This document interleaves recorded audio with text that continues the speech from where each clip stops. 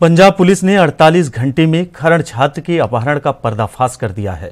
वहीं मामले की जानकारी देते हुए डीआईजी जीपीएस भुल्लर ने बताया कि बेहोशी की हालत में रखे गए पीड़ित की रिहाई के लिए अपहरणकर्ताओं ने 50 लाख रुपए की फिरौती मांगी।